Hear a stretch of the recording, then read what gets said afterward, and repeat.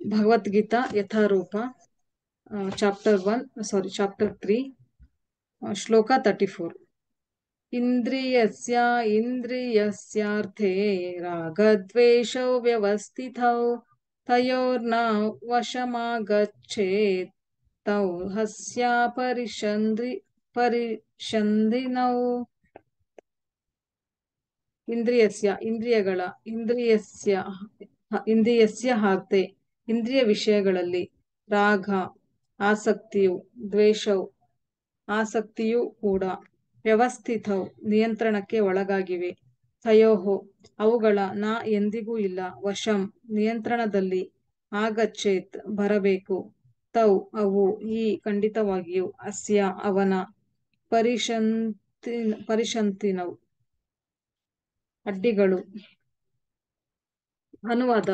ಇಂದ್ರಿಯಗಳು ಮತ್ತು ಅವುಗಳ ವಿಷಯಗಳಿಗೆ ಸಂಬಂಧಿಸಿದಂತೆ ರಾಗದ್ವೇಷಗಳನ್ನು ನಿಯಂತ್ರಿಸುವ ತತ್ವಗಳಿವೆ. ಮನುಷ್ಯನು ಇಂತಹ ರಾಗದ್ವೇಷಗಳ ವಶನಾಗಬಾರದು, ಏಕೆಂದರೆ ಆತ್ಮ ಸಾಕ್ಷಾತ್ಕಾರದ ಮಾರ್ಗದಲ್ಲಿ ಅವು ಅಡ್ಡಿಗಳು. ಭಾವಾರ್ಥ. ಕೃಷ್ಣ ಪ್ರಜ್ಞೆಯಲ್ಲಿರುವವರು ಸಹಜವಾಗಿಯೇ ಐಹಿಕ ಇಂದ್ರಿಯ ತೃಪ್ತಿಯಲ್ಲಿ ತೊಡಗಲು ಇಷ್ಟಪಡುವುದಿಲ್ಲ. ಆದರೆ ಇಂತಹ ಪ್ರಜ್ಞೆಯಲ್ಲಿ ಇಲ್ಲದವರು ಅಪೌರುಷೇಯ ಧರ್ಮ ಗ್ರಂಥಗಳ ವಿಧಿ ನಿಯಮಗಳನ್ನು ಅನುಸರಿಸಬೇಕು. ಐಹಿಕ ಸೆರೆಗೆ ಮಿತಿ ಇಲ್ಲದ ಇಂದ್ರಿಯ ಭೋಗವೇ ಕಾರಣ. ಆದರೆ ಅಪೌರುಷೇಯ ಶಾಸ್ತ್ರಗಳ ವಿಧಿ ನಿಯಮಗಳನ್ನು ಅನುಸರಿಸುವವನು ಇಂದ್ರಿಯ ವಸ್ತುಗಳ ಗೋಜಿಗೆ ಸಿಕ್ಕಿ ಬೀಳುವುದಿಲ್ಲ. ಉದಾಹರಣೆಗೆ ಬದ್ಧ ಆತ್ಮಕ್ಕೆ ಕಾಮತೃಪ್ತಿಯೂ ಅಗತ್ಯ. ವಿವಾಹ ಬಂಧನದ ಸ್ವಾತಂತ್ರ್ಯದ ಮಿತಿಯಲ್ಲಿ ಕಾಮತೃಪ್ತಿಗೆ ಅವಕಾಶ ಉಂಟು. ಶಾಸ್ತ್ರಗಳ ಆದೇಶದಂತೆ ತನ್ನ ಪತ್ನಿಯ ಹೊರತಾಗಿ ಬೇರೆ ಯಾವ ಹೆಂಗಸಿನೊಡನೆಯೂ ಕಾಮಭೋಗ ಪಡುವಂತಿಲ್ಲ. ಉಳಿದೆಲ್ಲ ಸ್ತ್ರೀಯರನ್ನು ತನ್ನ ತಾಯಿಯಂತೆ ಕಾಣತಕ್ಕದ್ದು. ಇಂತಹ ಆದೇಶಗಳಿದ್ದರೂ ಮನುಷ್ಯನು ಇತರ ಸ್ತ್ರೀಯರೊಡನೆ ಕಾಮಭೋಗ ಪಡಲು ಬಯಸುತ್ತಾನೆ. ಇಂತಹ ಪ್ರವೃತ್ತಿಗಳಿಗೆ ಕಡಿವಾಣವನ್ನು ಹಾಕಬೇಕು. ಇಲ್ಲವಾದರೆ ಅವು ಆತ್ಮ ಸಾಕ್ಷಾತ್ಕಾರದ ಮಾರ್ಗದಲ್ಲಿ ಅಡ್ಡಿಗಳಾಗುತ್ತವೆ. ಭೌತಿಕ ದೇಹವಿರುವಷ್ಟು ಕಾಲವು ಭೌತಿಕ ದೇಹದ ಅಗತ್ಯಗಳಿಗೆ ಅವಕಾಶ ಉಂಟು ಆದರೆ ವಿಧಿ ನಿಯಮಗಳಿಗೆ ಅನುಗುಣವಾಗಿ ಮಾತ್ರ ಆದರೂ ಇವು ಆದರೂ ನಾವು ಇಂತಹ ಅವಕಾಶಗಳ ಹತೋಟಿಯನ್ನು ಅವಲಂಬಿಸಬಾರದು.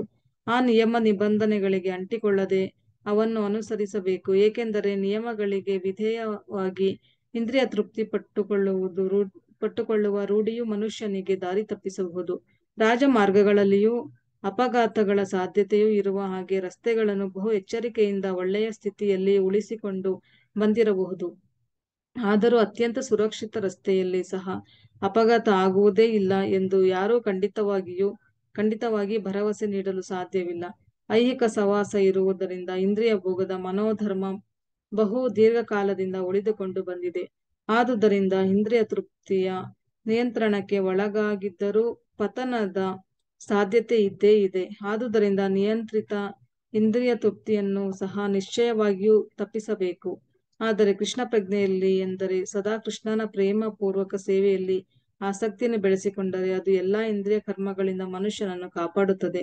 ಆದುದರಿಂದ ಬದುಕಿನ ಯಾವುದೇ ಘಟ್ಟದಲ್ಲಿಯೂ ಕೃಷ್ಣ ಪ್ರಜ್ಞೆಯಲ್ಲಿ ಆಸಕ್, ಅನಾಸಕ್ತರಾಗಲು ಪ್ರಯತ್ನಿಸಬಾರದು. ಎಲ್ಲಾ ರೀತಿಯ ಇಂದ್ರಿಯಾಸಕ್ತ, ಶಕ್ತಿಯಿಂದ ದೂರವಾಗುವ ಉದ್ದೇಶವು ಅಂತಿಮವಾಗಿ ಕೃಷ್ಣ ಪ್ರಜ್ಞೆಯ ವೇದಿಕೆಯಲ್ಲಿ ನೆಲೆಯನ್ನು ಕಂಡುಕೊಳ್ಳುವುದೇ ಆಗಿದೆ. ಹರೇ ಕೃಷ್ಣ. ಕೃಷ್ಣ ಮಾತಾಜಿ ಮಮತಾ ಮಾತಾಜಿ. ಹರೇ ಕೃಷ್ಣ ಮಾತಾಜಿ ಹರೇ ಕೃಷ್ಣ. ಹರೇ ಕೃಷ್ಣ ಮಾತಾಜಿ ಹರೇ ಕೃಷ್ಣ. ಶ್ಲೋಕ ಶ್ಲೋಕ ಮೂವತ್ತೈದು. ಶ್ರೇಯ ಶ್ರೇಯಾನ್ ಸ್ವಧರ್ಮೋ ವಿಗುಣಃ ಪರಧರ್ಮಾರ್ಥ ಸ್ವನುಷ್ಠಿತಾತ್ ಸ್ವಧರ್ಮೇ ನಿಧನಂ ಶ್ರೇಯ ಪರಧರ್ಮೋ ಭಯಾವಹ.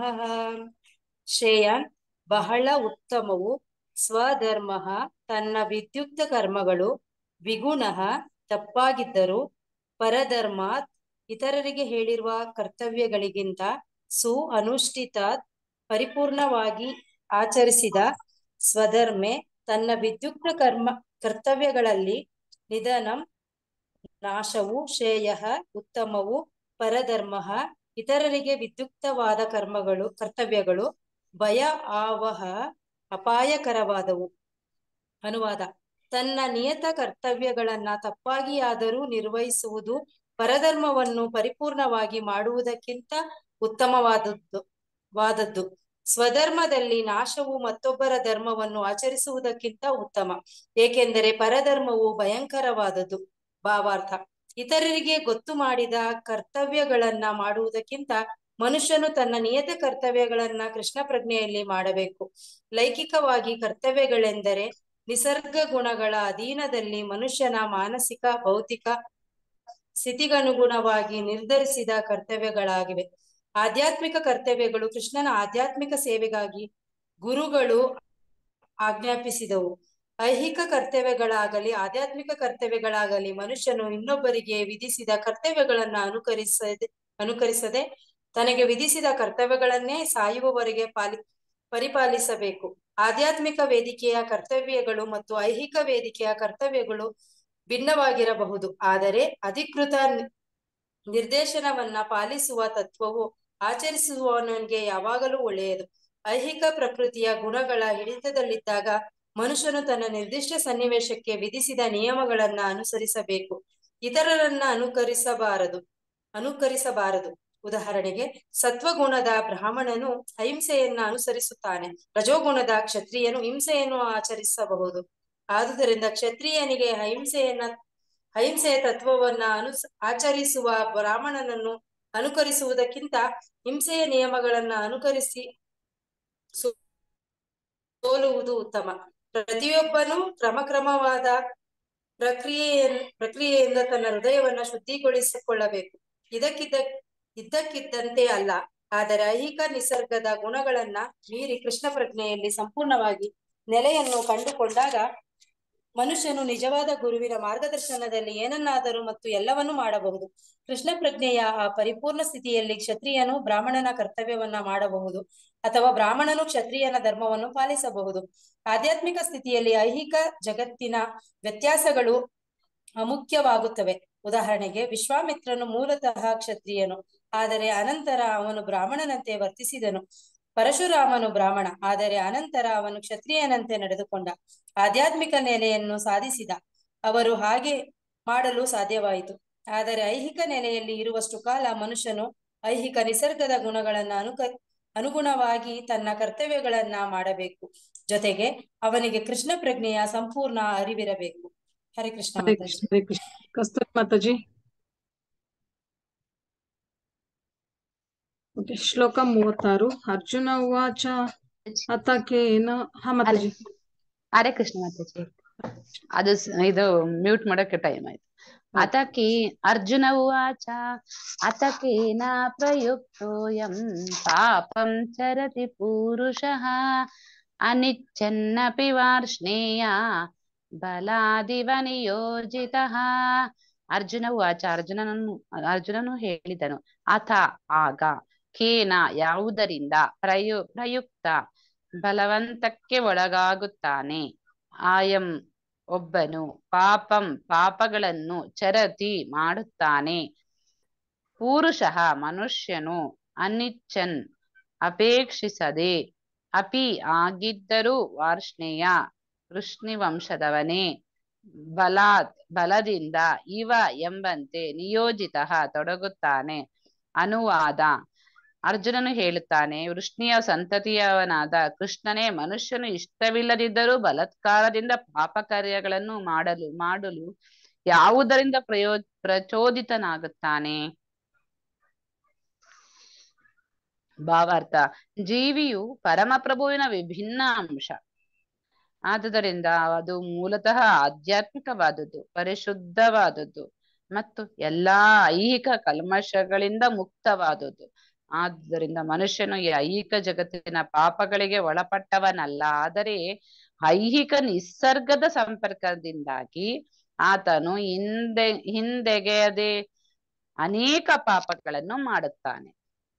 ಕೆಲವೊಮ್ಮೆ ತನ್ನ ಇಚ್ಛೆಗೆ ವಿರುದ್ಧವಾಗಿ ಪಾಪಗಳನ್ನ ಮಾಡುತ್ತಾನೆ. ಅದರಿಂದ ಆದ, ಆದ್ದರಿಂದ ವಕ್ರ ಜೀವಿಗಳ ವಕ್ರ ಬುದ್ಧಿಯನ್ನು ಕುರಿತು ಅರ್ಜುನನು ಕೃಷ್ಣನಿಗೆ ಕೇಳಿದ ಪ್ರಶ್ನೆಯು ತುಂಬಾ ಭರವಸೆಯಿಂದ ಕೂಡಿದೆ. ಕೆಲವೊಮ್ಮೆ ಜೀವಿಯು ಪಾಪವನ್ನು ಮಾಡಲು ಬಯಸದಿದ್ದರೂ ಆತನ, ಆತನು ಕ್ರಿಯೆಯಲ್ಲಿ ತೊಡಗಲೇಬೇಕಾಗುತ್ತದೆ. ಆದರೆ ಪಾಪ ಕರ್ಮಗಳನ್ನು ಅಂತರಂಗದಲ್ಲಿರುವ ಪರಮಾತ್ಮನು ಪ್ರಚೋದಿಸುವುದಿಲ್ಲ.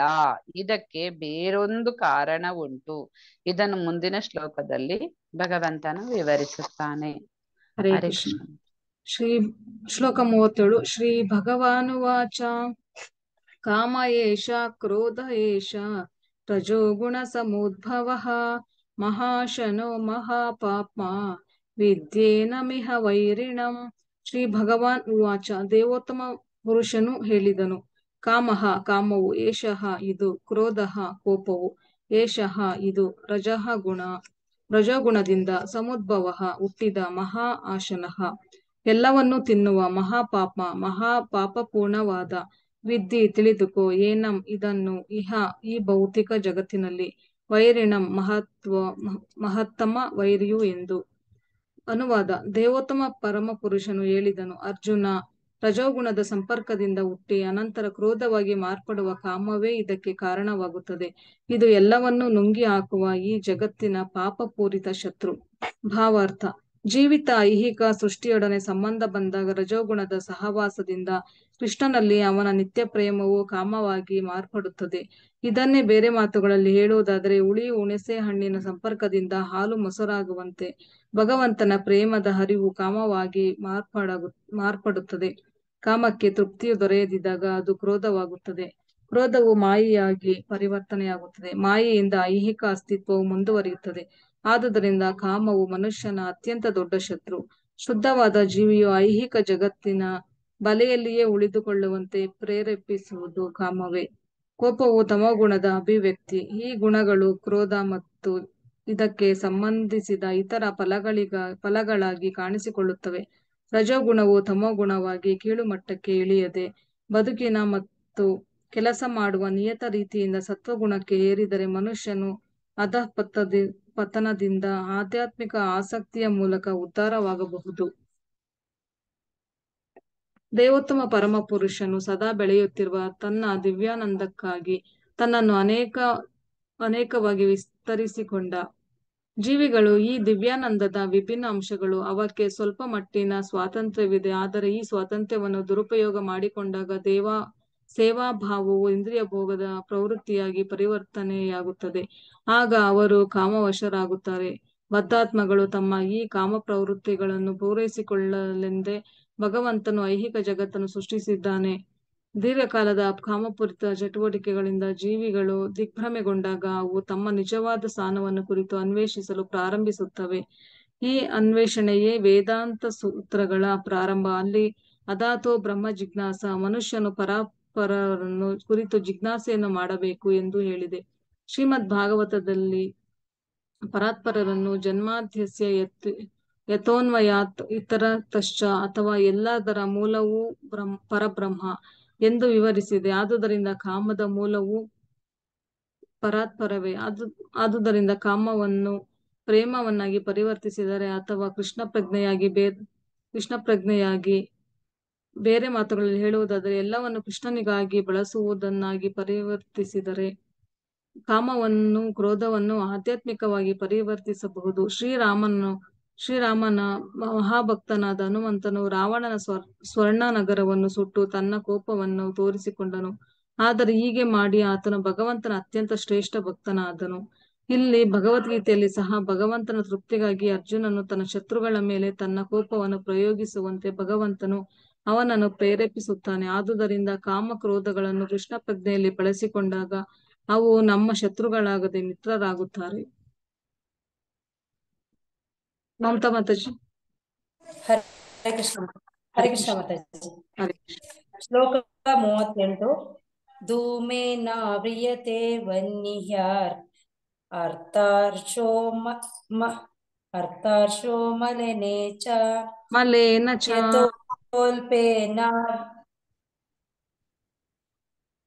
ಮಲನೆ ಮಲ ಮಲೇನ ಚ ಯಥೋಲ್ಬೇನಾವೃತೋ ಗರ್ಭಸ್ಥಾತ ತೇನೇದಮಾವೃತಂ ಧೂಮೇನ ಹೊಗೆಯಿಂದ ಆವ್ರಿಯತೆ ಆವರಿಸಲ್ಪಟ್ಟಿದೆಯೋ, ವನ್ನಿಹಿ ಬೆಂಕಿಯು, ಯಥ ಹೇಗೆ? ಆದರ್ಶ ಕನ್ನಡಿಯು ಮಲೇನ ಧೂಳಿನಿಂದ ಚ ಕೂಡ ಯಥ ಹೇಗೆ? ಉಲ್ ಉಲ್ಬೇನ ಗರ್ಭಕೋಶದಿಂದ ಆವೃತ ಆವರಿಸಲ್ಪಟ್ಟಿದೆಯೋ ಗರ್ಭ ಭ್ರೂಣವು ತಥಾ ಹಾಗೆಯೇ ತೇನ ಆ ಕಾಮದಿಂದ ಇದಂ ಇದು ಆವೃತಂ ಆವೃತವಾಗಿದೆ ಅನುವಾದ. ಬೆಂಕಿಯು ಹೊಗೆಯಿಂದ ಮುಚ್ಚಲ್ಪಟ್ಟಂತೆ, ಕನ್ನಡಿಯು ಧೂಳಿನಿಂದ ಮುಚ್ಚಲ್ಪಟ್ಟಂತೆ, ಭ್ರೂಣವು ಗರ್ಭಕೋಶದಿಂದ ಮುಚ್ಚಲ್ಪಟ್ಟಂತೆ, ಜೀವಿಯು ಕಾಮದ ವಿವಿಧ ಪ್ರಮಾಣಗಳಿಂದ ಮುಚ್ಚಲ್ಪಟ್ಟಿದೆ.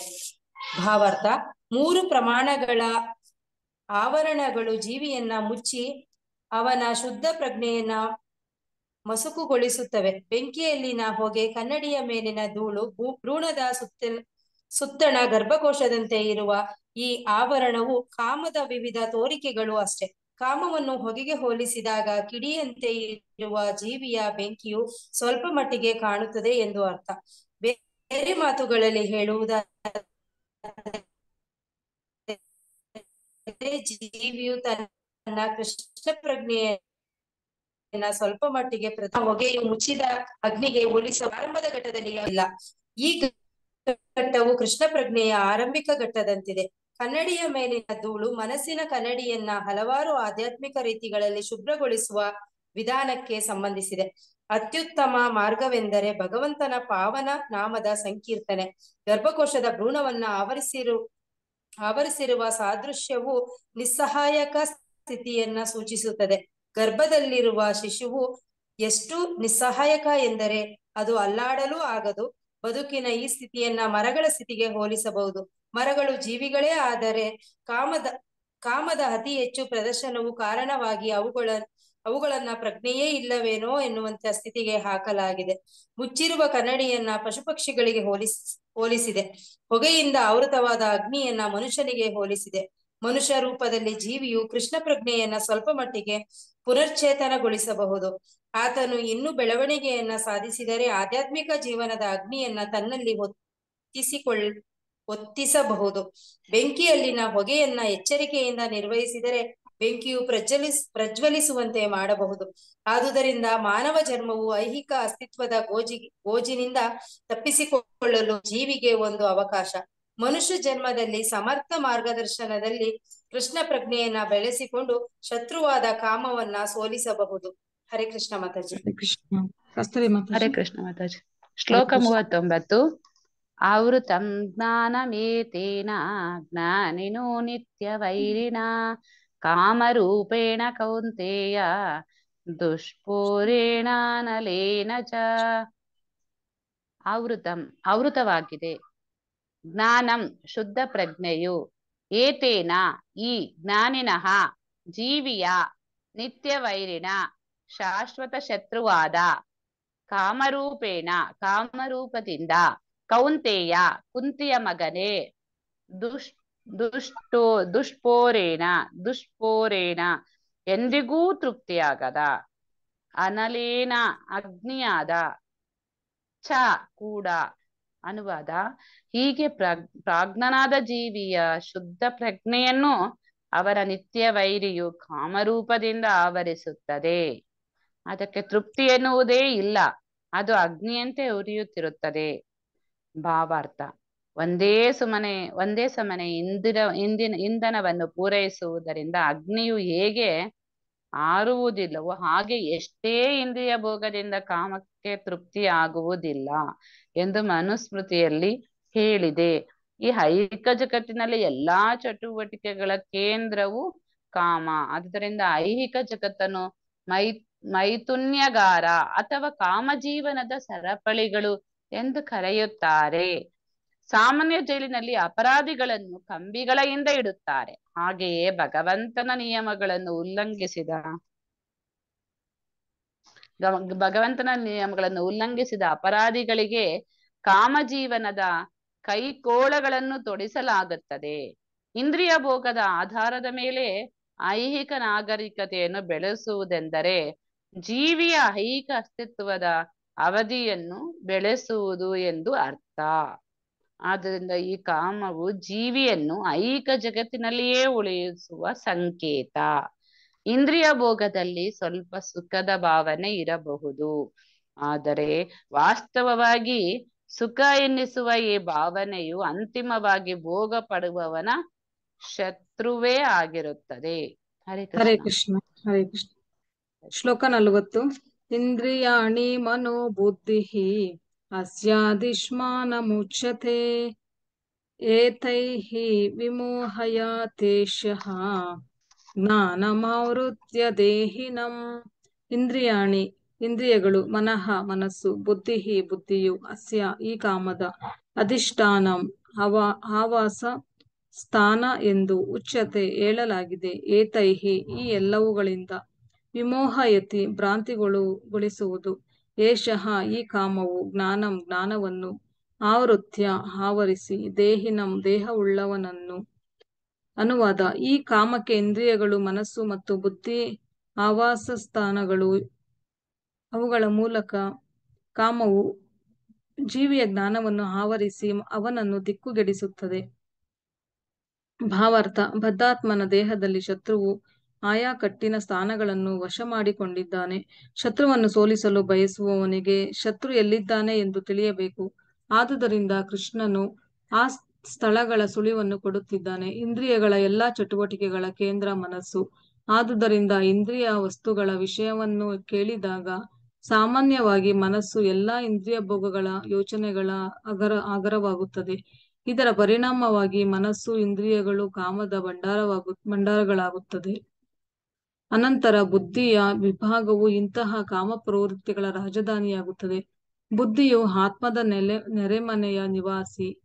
ಕಾಮಪೂರಿತ ಬುದ್ಧಿಯು ಆತ್ಮವು ಅಹಂಕಾರವನ್ನು ಪಡೆಯುವಂತೆ ಮತ್ತು ಜಡವಸ್ತುವಿನೊಂದಿಗೆ, ಆ ಮೂಲಕ ಮನಸ್ಸು ಮತ್ತು ಇಂದ್ರಿಯಗಳೊಂದಿಗೆ ತನ್ನನ್ನು ಗುರುತಿ, ಗುರುತಿಸಿಕೊಳ್ಳುವಂತೆ ಪ್ರಭಾವವನ್ನು ಬೀರುತ್ತದೆ.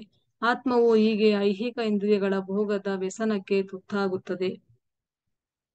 ಇದೇ ನಿಜವಾದ ಸುಖ ಎಂದು ಭ್ರಮಿಸುತ್ತದೆ. ಆತ್ಮವು ಹೀಗೆ ತಪ್ಪಾಗಿ ಗುರುತಿಸಿಕೊಳ್ಳುವುದರಿಂದ ಗುರುತಿಸಿಕೊಳ್ಳುವುದನ್ನು ಶ್ರೀಮದ್ ಭಾಗವತದಲ್ಲಿ point eighty four point thirteen ಬಹು ಸೊಗಸಾಗಿ ವರ್ಣಿಸಿದೆ. ಯಸ್ಯಾತ್ಮ ಬುದ್ಧಿ ಕುಣಪೆ ತ್ರಿಧಾತುಕೆ ಸ್ವದಿಹಿ ಕಲತ್ರಾದಿಷು ಭೌಮ ಇತ್ಯಜಿ ದೇಹಿ ಯತ್ತೀರ್ಥ ಬುದ್ಧಿ ಸಲೀಲೇನ ಕರ್ಹಿಚಿತ್ ಜನೇಶ್ವ ವಿಘ್ನೇಶು ಸ ಏವ ಗೋಕರಃ. ಯಾವ ಮನುಷ್ಯನು ತ್ರಿಧಾತುಗಳಿಂದ ಆದ ಈ ದೇಹವನ್ನು ತನ್ನ ಆತ್ಮದೊಂದಿಗೆ ಒಂದಾಗಿ ಗುರುತಿಸುವವನು, ದೇಹದ ಉತ್ಪಾದನೆಗಳನ್ನು ತನ್ನ ಬಂಧುಗಳೆಂದು ಪರಿಗಣಿಸುವವನು, ತಾನು ಹುಟ್ಟಿದ ಭೂಮಿಯು ಪೂರ್ಜಾರ್ಹವೆಂದು ಭಾವಿಸುವವನು ಮತ್ತು ಆಧ್ಯಾತ್ಮಿಕ ತಿಳುವಳಿಕೆ ಉಳ್ಳವರನ್ನು ಭೇಟಿ ಮಾಡುವುದಕ್ಕಿಂತ ಹೆಚ್ಚಾಗಿ ಸ್ನಾನ ಮಾಡುವುದಕ್ಕಾಗಿ ಯಾತ್ರಾ ಸ್ಥಳಕ್ಕೆ ಹೋಗುವನು ಅವನನ್ನು ಒಂದು ಕತ್ತೆಯಂತೆ ಅಥವಾ ಹಸುವಿನಂತೆ ಪರಿಗಣಿಸಬೇಕು. ಹರೇ ಕೃಷ್ಣ. ಹರೇ ಕೃಷ್ಣ ಹರೇ ಕೃಷ್ಣ ಶ್ಲೋಕ. ಫಾರ್ಟಿ ಒನ್ ತಸ್ಮಾತ್ವಮಿಂದ್ರಿಯಾಣೌ ದೌ ನಿಯಮ್ಯ ಭರತರ್ಷಭ ಪಾಪ್ಮಾನಂ ಪ್ರಜಹೀಹೇನಂ ಜ್ಞಾನ ವಿಜ್ಞಾನ ನಾಶನಂ ತಸ್ಮಾತ್ ಆದ್ದರಿಂದ ತ್ವಂ ನೀನು ಇಂದ್ರಿಯಾಣಿ ಇಂದ್ರಿಯಗಳನ್ನು ಆದೌ ಪ್ರಾರಂಭದಲ್ಲಿ ನಿಯಮ್ಯ ನಿಯಂತ್ರಿಸಿ ಭರತ ಋಷಭ ಭರತ ವಂಶದಲ್ಲಿ ಶ್ರೇಷ್ಠನಾದವನೇ ಪಾಪ್ಜ್ಞಾನಂ ಪಾಪದ ಮಹಾಸಂಕೇತವಾದ ಪ್ರಜಹಿ, ತಡೆಹಿಡಿ, ಹಿ, ಖಂಡಿತವಾಗಿಯೂ ಏನಂ, ಇದನ್ನು ಜ್ಞಾನ ಜ್ಞಾನ, ವಿಜ್ಞಾನ, ಶುದ್ಧಾತ್ಮನ ಬಗ್ಗೆ ವೈಜ್ಞಾನಿಕ ಜ್ಞಾನ, ನಾಶನಂ, ನಾಶ ಮಾಡುವ ಅನುವಾದ. ಆದುದರಿಂದ ಬ ಭರತ ವಂಶದಲ್ಲಿ ಶ್ರೇಷ್ಠನಾದ ಅರ್ಜುನನೇ ಪ್ರಾರಂಭದಲ್ಲಿ ಇಂದ್ರಿಯಗಳನ್ನ ನಿಯಂತ್ರಿಸಿ ಪಾಪದ ಮಹಾಸಂಕೇತವಾದ ಕಾಮಕ್ಕೆ ಕಡಿವಾಣ ಹಾಕು. ಜ್ಞಾನ ಮತ್ತು ಆತ್ಮ ಸಾಕ್ಷಾತ್ಕಾರಗಳನ್ನ ನಾಶ ಮಾಡುವ ಈ ಕಾಮವನ್ನ ಧ್ವಂಸ ಮಾಡು. ಭಾವಾರ್ಥ. ಕಾಮವು ಆತ್ಮ ಸಾಕ್ಷಾತ್ಕಾರದ ಮತ್ತು ಆಧ್ಯಾತ್ಮ ನಿಶ್ಚಿತ ಜ್ಞಾನದ ಹಂಬಲವನ್ನ ನಾಶ ಮಾಡುತ್ತದೆ. ಇದು ಮನುಷ್ಯನ ಅತ್ಯಂತ ಪಾಪಿಯಾದ ಶತ್ರು. ಇದನ್ನು ನಿಯಂತ್ರಿಸಲು ಪ್ರಾರಂಭದಿಂದಲೂ ಇಂದ್ರಿಯಗಳನ್ನ ಹತೋಟಿಯಲ್ಲಿಡಬೇಕೆಂದು ಭಗವಂತನು ಅರ್ಜುನನಿಗೆ ಬೋಧಿಸಿದನು. ಜ್ಞಾನ ಎಂದರೆ ಆತ್ಮೇತರವಾದುದರಿಂದ ಭಿನ್ನ ದೇಹವನ್, ದೇಹವಲ್ಲ ಎನ್ನುವ ಅರಿವು. ಆತ್ಮವು ದೇಹವಲ್ಲ ಎನ್ನುವ ಅರಿವು. ವಿಜ್ಞಾನ ಎನ್ನುವುದು ಆತ್ಮದ ಸ್ವರೂಪ ಮತ್ತು ಪರಮಾತ್ಮನೊಡನೆ ಅದರ ಸಂಬಂಧ. ಇವುಗಳ ನಿಶ್ಚಿತ ಜ್ಞಾನ. ಇದನ್ನ ಶ್ರೀಮದ್ ಭಾಗವತದಲ್ಲಿ two point nine, point thirty one ಹೀಗೆ ವಿವರಿಸಿದೆ. ಜ್ಞಾನಂ ಪರಮ ಪರಮಗುಹ್ಯಂ ಮೇಯದ್ ವಿಜ್ಞಾನ ಸಮನ್ವಿತಂ ಸ ಸರಹಸ್ಯಂ ತದ್ ತದಜ್ಞಾಚ ಗೃಹಾಣ ಗದಿತಮಯ ಮಯಾ ಆತ್ಮ ಮತ್ತು ಪರಮಾತ್ಮನ ಜ್ಞಾನವು ಬಹು ಗೋಪ್ಯವಾದದ್ದು ಮತ್ತು ನಿಗೂಢವಾದದ್ದು. ಆದರೆ ಭಗವಂತನೇ ಅವುಗಳ ವಿವಿಧ ಅಂಶಗಳನ್ನ ವಿವರಿಸಿದರೆ ಇಂತಹ ಜ್ಞಾನವನ್ನು, ನಿರ್ದಿಷ್ಟ ಸಾಕ್ಷಾತ್ಕಾರವನ್ನು ಅರ್ಥ ಮಾಡಿಕೊಳ್ಳಬಹುದು. ಭಗವದ್ಗೀತೆಯು ತನಗೆ ಆತ್ಮದ, ಆತ್ಮನ ಈ ಸಾಮಾನ್ಯ ಮತ್ತು ನಿರ್ದಿಷ್ಟ ಜ್ಞಾನವನ್ನ ಕೊಡುತ್ತದೆ. ಜೀವಿಗಳು ಭಗವಂತನ ವಿಭಿನ್ನ ಅಂಶಗಳು. ಆದುದರಿಂದ ಅವರ ಅಸ್ತಿತ್ವದ ಉದ್ದೇಶವೇ ಭಗವಂತನ ಸೇವೆ. ಈ ಪ್ರಜ್ಞೆಗೆ ಕೃಷ್ಣ ಪ್ರಜ್ಞೆ ಎಂದು ಹೆಸರು. ಆದುದರಿಂದ ಬದುಕಿನ ಪ್ರಾರಂಭದಿಂದಲೂ ಮನುಷ್ಯನು ಈ ಕೃಷ್ಣ ಪ್ರಜ್ಞೆಯನ್ನ ಕಲಿಯಬೇಕು. ಆದ್ದರಿಂದ ಸಂಪೂರ್ಣವಾಗಿ ಕೃಷ್ಣ ಪ್ರಜ್ಞೆಯನ್ನ ಬೆಳೆಸಿಕೊಂಡು ಅವ, ಅದಕ್ಕೆ ಅನುಗುಣವಾಗಿ ನಡೆದುಕೊಳ್ಳುವುದು ಸಾಧ್ಯವಾಗುತ್ತದೆ. ಪ್ರತಿಯೊಂದು ಜೀವಿಯು ಭಗವಂತನ ಪ್ರೇಮವೂ ಸಹಜ. ಕಾಮವು ಈ ಪ್ರೇಮದ ವಕ್ರ ಪ್ರತಿಬಿಂಬ. ಆದರೆ ಪ್ರಾರಂಭದಿಂದ ಕೃಷ್ಣ ಪ್ರಜ್ಞೆಯಲ್ಲಿ ಶಿಕ್ಷಣ ಪಡೆದವನಿಗೆ ಭಗವಂತನಲ್ಲಿ ಸಹಜವಾದ ಪ್ರೇಮವು ಕಾಮವಾಗಿ ಪರಿಣಮಿಸಲಾರದು. ಭಗವಂತನಲ್ಲಿನ ಪ್ರೇಮವು ಕಾಮದ ಕೀಳು ಸ್ಥಿತಿಗೆ ಬಂದಾಗ ಸಹಜ ಸ್ಥಿತಿಗೆ ಹಿಂದಿರುಗುವುದು ಬಹ, ಬಹು ಕಷ್ಟ. ಆದರೂ ಕೃಷ್ಣ ಪ್ರಜ್ಞೆಯ ಶಕ್ತಿ ಎಷ್ಟೆಂದರೆ ತಡವಾಗಿ ಪ್ರಾರಂಭಿಸಿದವನು ಭಕ್ತಿ ಸೇವೆಯ ನಿಯಂತ್ರಕ ತತ್ವಗಳನ್ನ ಅನುಸರಿಸಿದರೆ ಭಗವಂತನ ಪ್ರೇಮಿಗ, ಪ್ರೇಮಿಯಾಗಬಹುದು. ಆದ, ಆದುದರಿಂದ ಬದುಕಿನ ಯಾವುದೇ ಹಂತದಲ್ಲಿಯೂ ಅಥವಾ ಅದರ ತುರ್ತನ್ನು ಅರ್ಥ ಮಾಡಿಕೊಂಡ ಕಾಲದ, ಕಾಲದಿಂದಾಗಲಿ ಮನುಷ್ಯನು ಕೃಷ್ಣ ಪ್ರಜ್ಞೆಯಲ್ಲಿ ಭಗವಂತನ ಭಕ್ತಿಯುತ ಸೇವೆಯಲ್ಲಿ ಇಂದ್ರಿಯಗಳನ್ನು ನಿಯಂತ್ರಿಸಿ ಭಗವಂತನ ಪ್ರೇಮಪೂರ್ವಕ ಸೇವೆಯನ್ನ ಪ್ರಾರಂಭಿಸಬಹುದು. ಕಾಮವನ್ನು ಭಗವಂತನ ಪ್ರೇಮಕ್ಕೆ ಪರಿವರ್ತಿಸಬಹುದು. ಭಗವತ್ ಪ್ರೇಮವೇ ಮನುಷ್ಯ ಮನುಷ್ಯ ಜೀವನದ ಅತ್ಯಂತ ಪರಿಪೂರ್ಣ ಹಂತ. ಹರೇ ಕೃಷ್ಣ ಮಾತಾಜಿ. ಹರೇ ಕೃಷ್ಣ ಮಾತಾಜಿ ಹರೇ ಕೃಷ್ಣ ಮಾತಾಜಿ ಹರೇ ಕೃಷ್ಣ ಮಾತಾಜಿ ಶೀಲ ಪ್ರಭುಪಾದಕ್ಕೆ ಜೈ